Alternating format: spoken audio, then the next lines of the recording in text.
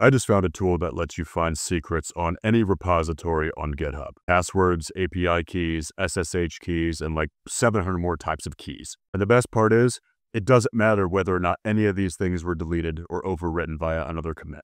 This tool will still find them because of the way that Git works. Anyway, this tool is called Trufflehog, and it's very easy to install and even easier to use. This program is going to be useful for bug bounty hunters, especially if you're savvy enough to automate this, security researchers, or just plain hobbyists who want to learn how these things work, legally of course.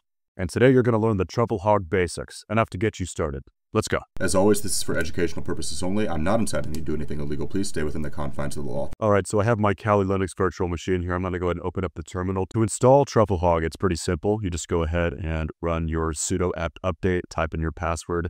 It'll go and update your Kali repositories just so that way you get the most recent version of Trufflehog. Then I'm going to go ahead and update my packages. If I can type, now that I've upgraded all my packages, all I have to do now is just install Trufflehog with this command right here. Now, I already have Trufflehog, so this isn't going to do anything for me, but all I have to do now to call it is I'm just going to go ahead and clear the terminal now, and I'm just going to call it. And now you get this super nice looking interface right here.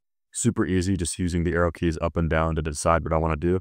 Now, what I'm going to do first is I'm going to take a look at skinning a source with the WYSIP here. So if I hit enter, I have a number of different options here. Anything that has a money symbol requires the enterprise version, which I don't have. Stuff like Google Drive, SharePoint, Teams, Slack, etc. Now, if you were savvy enough, you could build things that scan with this, but I'm not at that level yet. But right now I'm stuck with Git, GitHub, GitLab, just your file system, an S3 bucket, and some things that I'm not familiar with aside from Docker. Now, I don't have anything prepared here for that, but I know that if I go to GitHub, I can just enter out some of the defaults here. I'm going to go ahead and scan their default uh, repository, just a bunch of test keys that they let you mess with, I'm pretty sure. So I'm going to go ahead and press the arrow key back up, paste that in, go down, hit next. Anyway, JSON output, this is really nice if you're going to pipe it into some other program. I don't need to right now. Skip verification. You almost always want this on because what it does is it uses any API keys that it finds and it does a little bit of a call. If that thing responds, then it knows that the API key is valid and it will eliminate a lot of false positives since there are going to be a lot of things that look like API keys but aren't.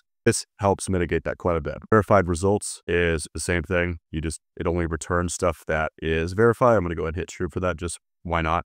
Exclude detectors. I'm not going to lie, I don't know what this is. This virtual machine only has one core, CPU core attached to it, so I'm just going to go ahead and hit next. And after did all that, it gave me a command that I could have just run from the beginning. But if you don't know that, this is a really helpful tool. And if I just hit enter, it will go ahead and run this command as if I just typed this initially. So this should return only verified API keys unless it gives me an error that I don't know what it means. It could take a little bit. This is a really small repository. If you go ahead and take a look here, you know what? I'm going to go ahead and demonstrate that. This is the default repository that was in the gray text that I just copy and pasted back in there.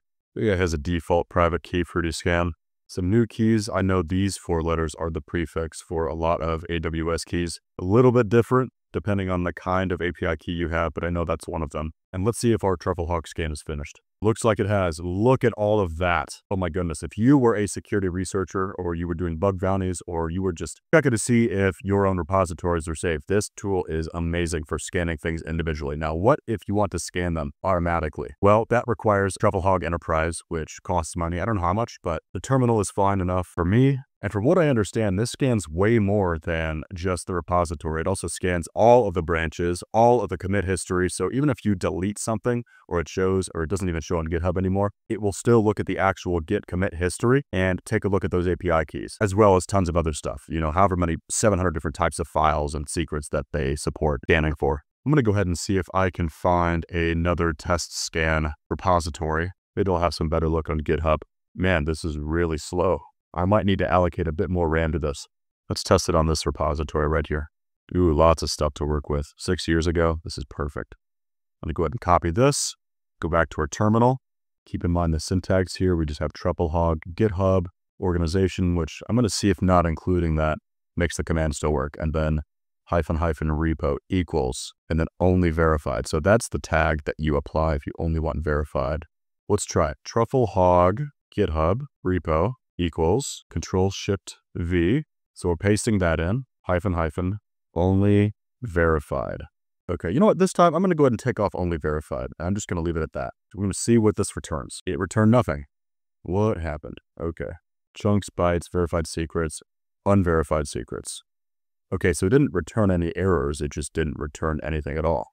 I'm going to copy paste this, go back to the terminal, and I'm just going to run the base command.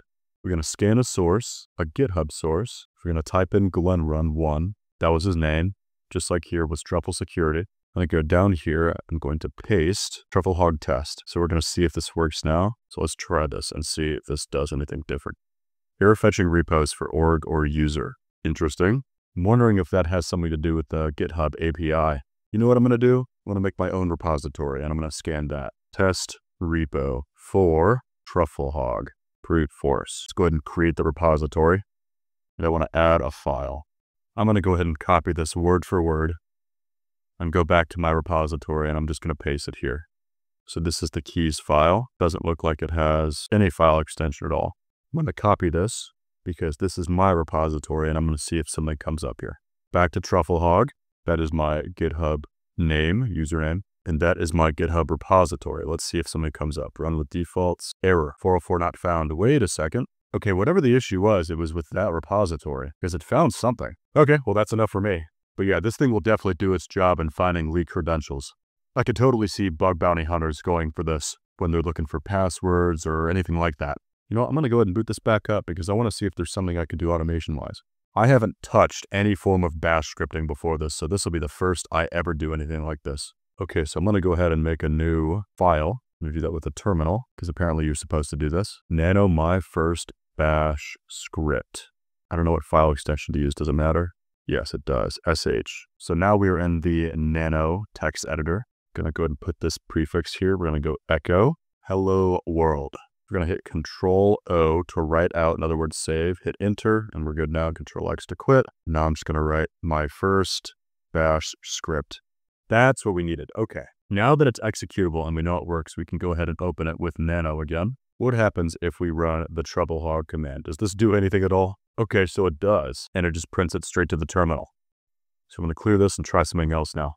Oh, but I did forget to put GitHub in there, so this should work now. Oh yeah, I don't know what I was waiting on. This isn't me running Trufflehog. This doesn't return anything. This is just a script. Maybe I was waiting on something. Anyway, my super simple script works. I'm going to go ahead and try adding another task to it. On top of scanning the test repo, I'm also going to scan my own repo. So I'm going to go ahead and add that really quick. Trufflehog, GitHub, org, the brute force. Turns out I've garbled this. Test repo for Trufflehog. Save and quit. We're going to try this again. So it's doing stuff right now. This is the first one. Oh shoot, I did just have to wait a while. Looks like it's still going to. I haven't seen the other thing start yet. Okay. Okay, it finished. We could see because this one started up again. That's the first command line that happened. So it's just going to do this again. Wow. Okay, so this one didn't take anywhere near as long. Man, I am totally making a video in automation and scripting.